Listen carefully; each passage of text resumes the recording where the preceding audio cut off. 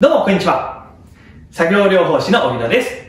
今日は高齢者の方に向けて足に溜まった老廃物をしっかりと洗い流すためのスッキリ体操というのをご紹介していきたいと思います。足に老廃物が溜まってしまうと、例えばふくらはぎを中心としたむくみが出てきてしまったり、足が重だるくなったり、痛みにつながってしまって、疲れもなかなか取れないという症状が出てきます。それだけじゃなくて、足先が冷えてしまったり、いわゆるですね、循環、血流が悪くなると、こういった症状が出てくるんですね。えー、年齢とともにこういった症状、とても、えー、強くなってきて、さらにですね、このふくらはぎの方にむくみが溜まりすぎてしまうと、えー、夜間のですね、頻尿っていうのも出てきちゃうんですね。そうするとですね、睡眠時間もですね、短くなって、そして心身ともにですね、どんどん疲れてきちゃうんですね。なので、この足元の老廃物をしっかり流すためのトレーニングを今日は行って、そしてですね、え疲れをとって、睡眠もしっかりとれて、そして血流もどんどん上げてと、いいこと尽くしのこの体操を今日はお伝えしたいと思います。このチャンネルではシニアの方がいつまでも健康であり続ける運動をどんどん紹介しておりますので、ご興味ある方はチャンネル登録もよろしくお願いいたします。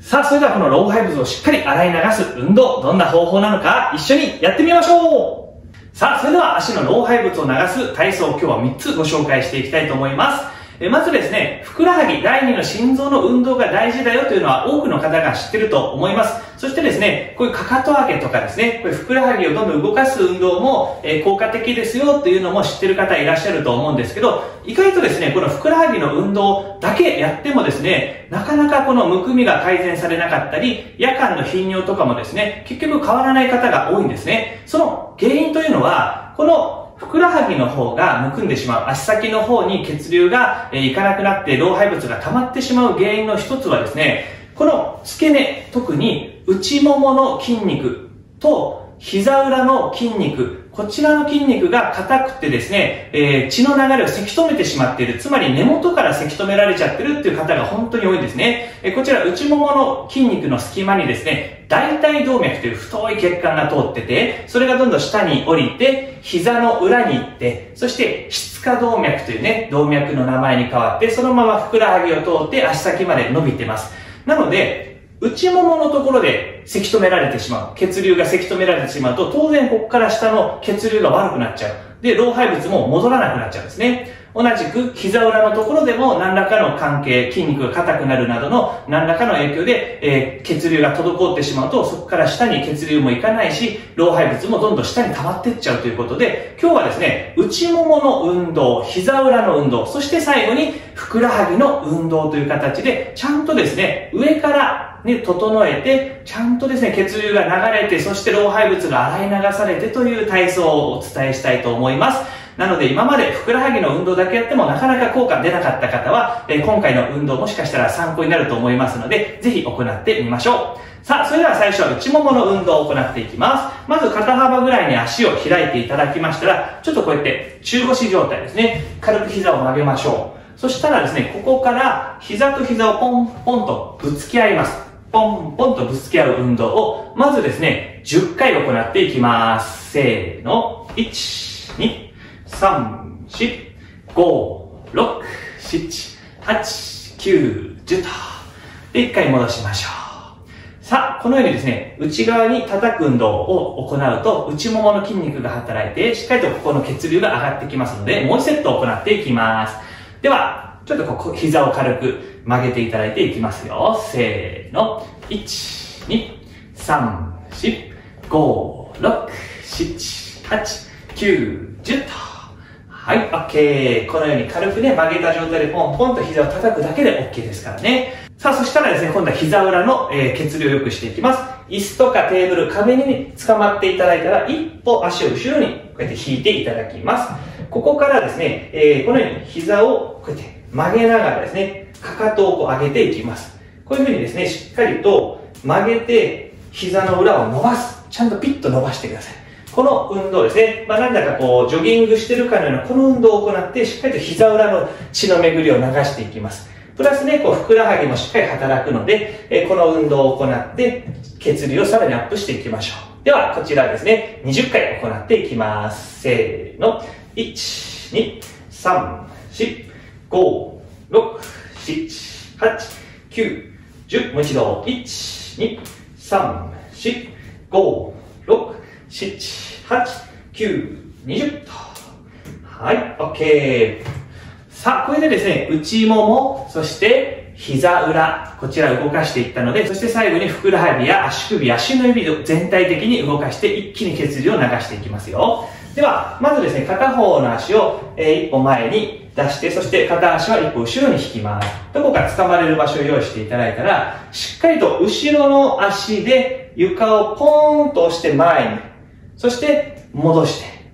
蹴って戻してと、このように動かしていきます。しっかり床を蹴ってあげると、ふくらはぎにぐっと力が入って、ふくらはぎの筋肉が働きます。そして前の足ですね。前の足に体重かけたら指に力が入って、指の筋肉たちが働く。そして、後ろに引いた時は、しっかりとつま先を立ててあげましょう。そうするとですね、これすねのところの筋肉ですね。前脛骨筋という筋肉がしっかり働いて、このふくらはぎだけじゃなくて、足首全体の血流がアップしてくれますので、えー、このように、押した後、しっかりとつま先を上げる。押してつま先を上げるという運動をまず10回行っていきましょう。では行きます。せーの。1、2、3、4、5、お、6、7、8、9、10、うっと。はい、OK。結構ふくらはぎがね、あったかくなってきますからね。では、今度反対の足ですね。大きくこのように開いていただいて、では、いきますよ。せーの。蹴って、引いて、はい、2、1、3、4、1、5、お、6、7、8、9、う、10、うっと。はい、OK。戻しましょう。さあ、このようにしっかりとふくらはぎもどんどん動かしてあげることで、そもそもこう上の方からしっかりと血流ですね、流れて、そして戻るための付け根、膝裏、ふくらはぎ、足首、このあたりのですね、血流アップの運動を今日はお話しさせていただきました。そしてこの後ですね、え説明なしで3つの運動を通して行います。なので2回目以降でもう運動だけ、えスムーズにやりたいという方は、えここから、え次回ですね、見ていただきたいと思います。では、この後は説明なしで通して今の3つの運動を行っていきたいと思います。では、早速ですね、老廃物を流す3つの運動を僕と一緒にやってみましょうさあ、それでは老廃物を流す3つの体操を行っていきます。まず肩幅ぐらいに足を広げて、軽く膝を曲げましょう。さあ、この状態で膝をポンポンとタッチしていきます。では、20回行っていきます。せーの。1、2、3、4、5、6、7、8、9、10もう一度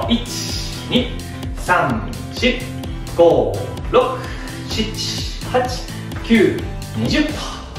はい OK さあそしたら椅子やテーブルにつかまっていただいて足を一歩ね引きましょう。さあこの状態でしっかりとこのようにかかとも上げながら膝を曲げていきましょう。でしっかりとですね膝ピッと伸ばしてくださいね。ではこちらも20回いきます。せーの。1 2 3 4 5 6 7 8 9 10もう一度1 2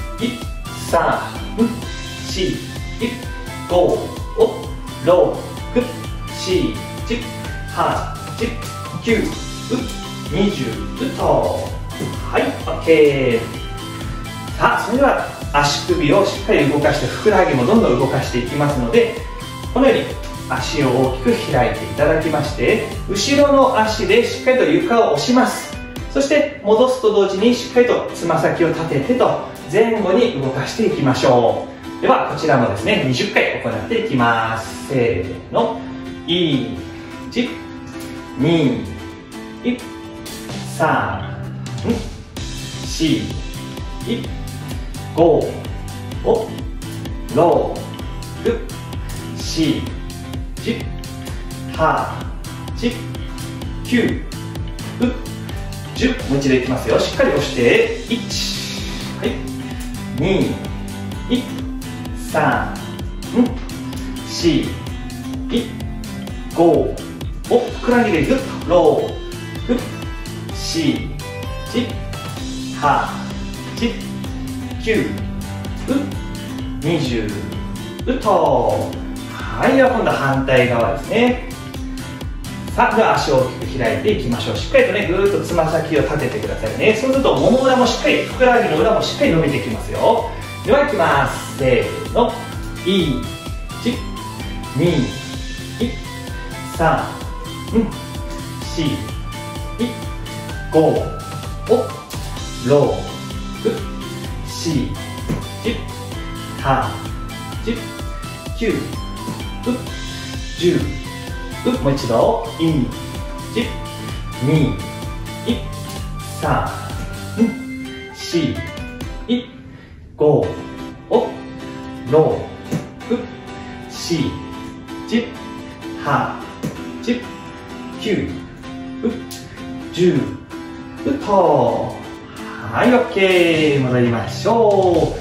さあこのようにですねしっかりと付け根の方膝の裏そしてふくらはぎ足首の方の血流アップを行うことで足に溜まった老廃物やむくみを解消してそして足をすっきりさせる運動を今日はご紹介させていただきました。足元にお悩みのある方はぜひこちら続けていただいてしっかりと足をすっきりできるようにそして夜間頻尿などの、えー、症状にねお悩みの方はですねこういったのも参考に夜間ぐっすり眠れるように行ってみてください。えー、このようにですね健康に役立つ運動方法これからもどんどん紹介していきたいと思います。ご興味ある方はチャンネル登録もよろしくお願いいたします。そして過去の動画でこちらですね、えー、ふくらはぎをさらに鍛えることができる運動を紹介しております、えー、こちらからクリックできるようになっておりますのでこちらもよかったら参考にしてください。